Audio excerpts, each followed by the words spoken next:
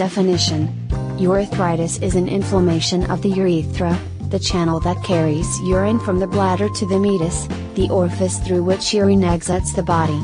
This inflammation is caused by infection and is a sexually transmitted infection, STI. Many germs cause urethritis such as Neisseria gonorrhea E and Chlamydia trachomatis, which are the two most frequently involved. Symptoms The symptoms of urethritis are a sharp burning pain during urination, irritation at the meatus, urethral pain, discharge, more frequently present in the morning. Gonorrhea most commonly affects homosexuals and is quicker to manifest itself.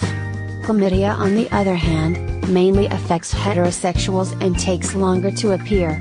Diagnosis the diagnosis of chronic urethritis is made by a general practitioner and is based on a questionnaire of the sexual practices of the subject, a physical examination and analysis. Analysis of urethral secretions can depict causes. Cultures or microscopic analyses are also often performed. More complex molecular biology techniques are also possible. Treatment The treatment of urethritis is through antibiotics, depending on the identified bacteria.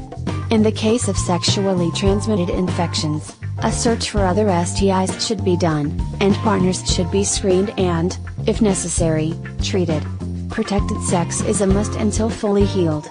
Prevention Urethritis is a sexually transmitted infection, and thus condom use is preventive. Safe sex, especially for people with multiple partners, can help prevent contamination please subscribe to our channel and give this video thumbs up. Share this video with your friends on Facebook and Twitter.